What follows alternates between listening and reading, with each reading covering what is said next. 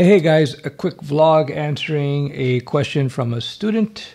I'll try to answer some of these questions, although some of them will require a little bit more than a vlog to answer. Anyway, here we go. Another thing, I want to do some freelancing on the side while digging deeper into web development. I already know a couple of small businesses who need a website like My Osteopath, Lady, Farm Shops, etc. Very good. That's where you start. You talk to people that you know. You walk in and say, Hey, I got some uh, web design skills. Let me help you out. Let me continue reading his email. But there are still lots of questions outside the programming scope, like what image processing skills and tools do I need? Well, these days with modern web design, where you're building responsive websites, as I teach in my HTML and CSS course, really you don't really need too much in terms of image editing skills. Not like it was 10 years ago. Basically, you just need a pretty clean image. Make sure it's at 96 kilobit uh, pixels an inch. Uh, don't make it uh, for print if you don't know what that is. I talk all about that in my course.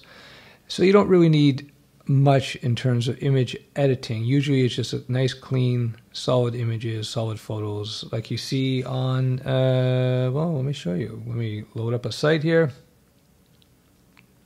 uh, even Apple, right? This is just good photography, and just cut it nicely. Again, this is probably a 3D rendering, you know, 3D rendering, but this is pretty fancy. You know, this is Apple. If we go to a simpler site like, I don't know, uh, Studio Web, we'll go to Studio Web. So Studio Web, again, you see the image editing here is very simple. This is just an image. All we did here was blur out some point, points here and there. You could do this with basic Photoshop or free Photoshop like apps like the GIMP, GIMP, G I M P. That's another option. And there are uh, online image editing tools. I think Sparrow's one of them. You can just search for Google online image editing, and you can just do basic things like cuts and crops and maybe blur out sections. You don't necessarily need to get a Photoshop. As you can see, it's pretty simple.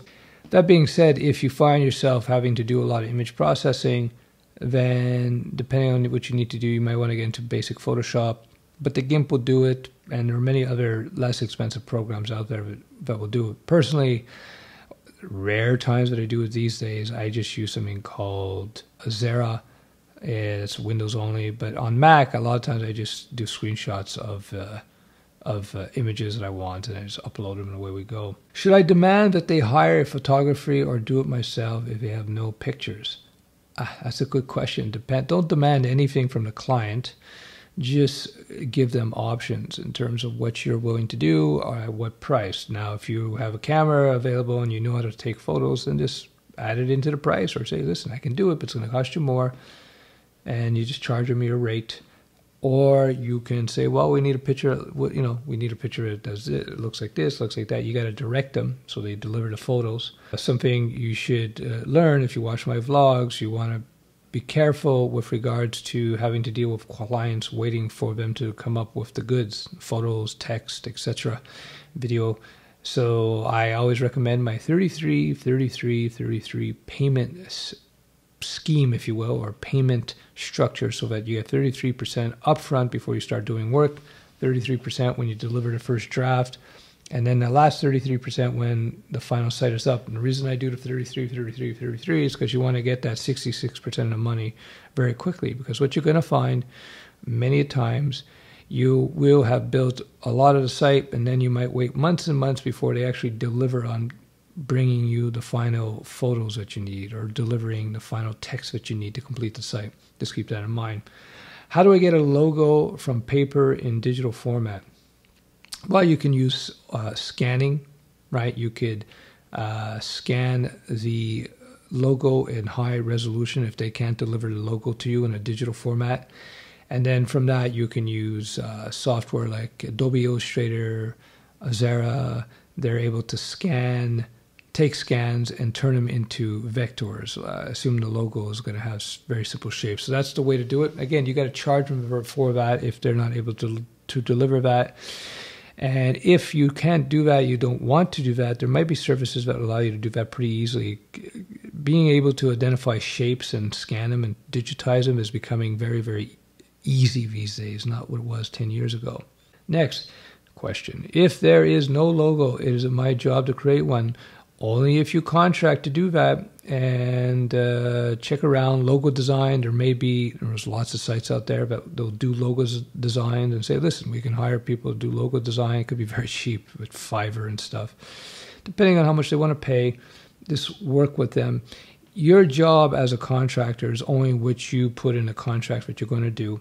And if they want you to do it, you just charge them extra for that. And if it's not core to your expertise, for instance, you don't want to do logo design because not because that's not what you do, then hire somebody to do that. There are sites online like Fiverr and others that would just go logo design, and sometimes you can just buy logos prefab and say, okay, what kind of business do you have? So if they're osteopath, you can go to these sites, just search for them on Google, where you can type in osteopath or chiropractor or medical type logos. And uh, they'll have a slew of logos that you can buy for whatever dollars. It could be 50 bucks, 20 bucks, 100 bucks.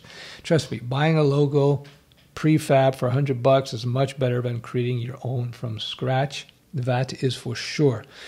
So that's what I would suggest that you do there.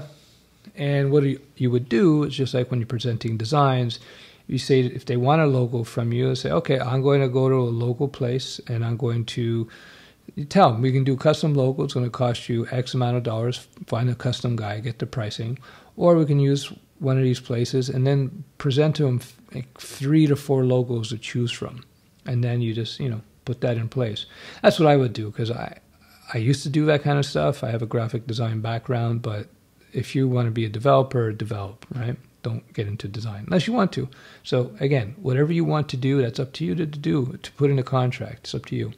You don't have to do anything you don't want to do. You're not, they're not your boss. You, you're, you are your own boss. You decide what work want, you want to do. And if you, they want you to do it, hire people in and just bill them for it and take a little piece for yourself because you have to take, count your time trying to find these contractors. Next question How to conduct the project on the business side? Well, I gave you some tips right there. I'm going to be putting together a course. I have it written out actually, and I talked about it about a month ago. I've just been so busy with work. I'm going to put together an entrepreneurial entrepreneur business. I've been an entrepreneur for 28 years, many different businesses. I've had my successes. And so I'm going to be putting together a course that discusses all these things, something that I wish I would have had when I was young. So if you're listening to this and you're watching this, and that type of course would interest you, let me know in the comments below because the more comments I get, the more likely I'm going to put out this course. Uh, like I said, I've written it out already. I don't know what it is. I forget. It's like 50 lessons or something. It's going to be uh, video and podcast format, so you can listen to it as you go.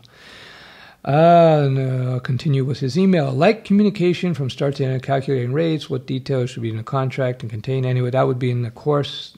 You know, um, if you look in my YouTube collection, I talk about this stuff. Uh, I talk about contracts. I talk a bit about calculating rates. It's in the YouTubes. Just search for that in my YouTube vlogs. You know, I got hundreds. So, and there, uh, there's some business stuff in there. Uh, yes, next, reselling hosting. Again, I talked about that as well. In a nutshell, though, reselling hosting can be good. I used to do it. I used to have my own hosting servers and everything, but I sold that business whatever, eight years ago. I still have my residuals from that. But it's understand when you start doing hosting, you're probably gonna have to deal with email, tech support. Ah, we lost our emails. What do we do? How do we, you know? You may want to partner with a hosting company and just get an affiliate link and then you you know you could you can make 80 100 dollars for every hosting client you bring them so better to hook them up with a hosting company and uh, make sure they won't compete with you in terms of your web design services. And get an affiliate link and just make a quick hundred bucks you know and not have to deal with the headaches. Unless your plan is long term to have hundreds and hundreds of hosting clients. But understand you have to deal with tech support issues. And it can get very annoying when you're getting calls at friday afternoon at four o'clock saying that their emails don't work and it turns out that they just lost their passwords. Keep that in mind. So last question he asked. Do you think these topics are you going to cover them on YouTube channel, Killer Sites? I think I answered that. I have covered some of them at least. uh, good book or other resource. Well, I'm putting it together, so let me know, you guys on YouTube. I have the course on. It takes a bit of work to put it out, but you know because it's business oriented, for me anyway, it's easier to put out than a code course. It's structured. Also, I've been doing business 28 years, kind of like second nature for me. So I just, you know, it's easy for me to get out compared to other things. That's about it. See you in the next vlog.